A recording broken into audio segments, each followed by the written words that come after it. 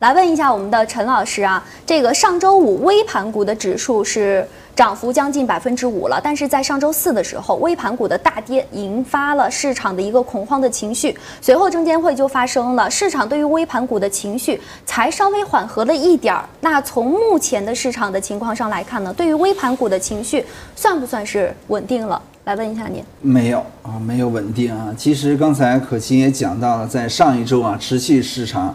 下跌啊，其中的内因就是微盘股导致的啊，也就是我们所说的，啊，对于 IT 也好，对于微盘股也好，对于退市也好，基本上上一周啊已经是发挥到一个极致了，或者说呢，情恐慌情绪相对的加速，呃，形成了一个情绪的一个冰点啊，所以说我们看到微盘股、IT 股票持续形成跌停下跌，呃，它并不会由于某一些政策或者说某一些啊。话术说告诉你了啊，现在整体的退市不会说那么多啊。我们要知道，其实从二零一九年开始啊，整个新股上市的发行节奏平均是多少呢？是三百八十一家。跟大家讲一下，每年平均三百八十一家，而现在退下来的啊也没有很多，对吧？不到五十家吧，好像是啊。你像戴帽的，现在才二十几家吧，我记得印象里啊。所以说整体来讲的话，我们的退市和上市从二零一九年其实是不成比例的啊，这是第一点。第二点，我们要知道这一次整个从啊这个微盘股也好，或者说是一些绩差股、还是 T 股票出来之后，那么一些资金去哪儿了？一些资金可能选择的方向是几个点啊，一个是港股啊，一个是。我们所说的一些跨境的 ETF 啊，一个是其他的一些权重白马段，或者是有的资金可能索性啊就等待市场企稳啊，这个其实是很明确的。那么市场如果是重新上涨，尤其是对于微盘股票，必须得是什么？符合两点，要么就是业绩持续形成一个比较明显的一个上行，对不对啊？大家伙认为它的估值已经到位了。你甭管说这个小盘股也好，微盘股也好，你业绩这么好，小而美啊，为什么没有人买呢？肯定是由于它的业绩所带来的上行，这第一点。第二点，有资金对它的认可，对吧？就这两点。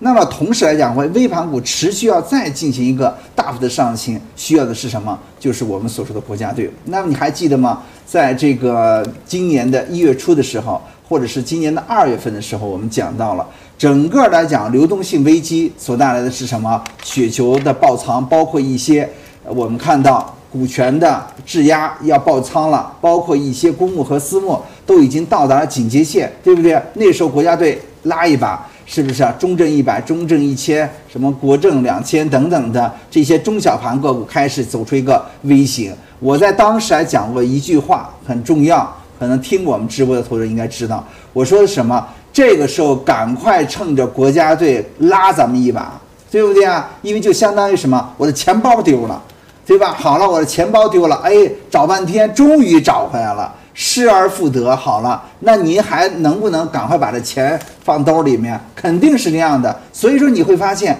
就是微盘股它就不再创出一月份以来的高点了，对不对？从一月份开始连续下跌嘛，跌了百分之四十嘛。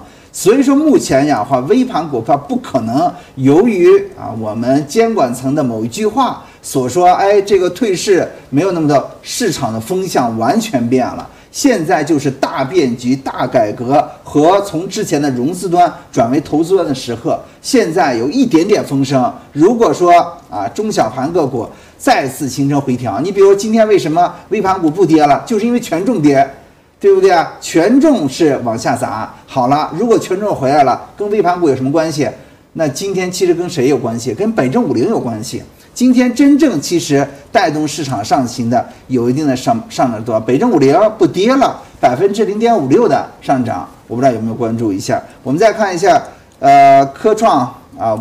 百五零科创五零现在是百分之一点五六，主要是什么？半导体啊、光刻机啊、光刻胶这块带动了，就是现在目前比较稳定的这些低价的，就是北证五零，对不对啊？这是一个点。还有点是什么？今天其实有一个利空啊，就是关于 I P I I P O 啊，有一个申报新股的这块的一个利空消息所带来的，也就是重启 I P O 了吗？对不对啊？那重启 I P O，市场的资金虹吸效应又没了。是不是啊？然后呢？你看今天几个惨淡，是什么？就是上一周的啊，整体对于新能源我们这块有一定的啊，相对的海外美国对我们新能源有一定的影响，对不对？这是其一其二，就是我们内部的微盘股票、IT 股票形成大幅的下跌，然后再叠加上什么呢？我们看到今天啊，这个。呃，相对的一些价值股票、权重股票形成一个下跌，再叠加上 IPO，所以说今天是几重打击在一起，所以不着急吧，耐心等待啊，就这意思。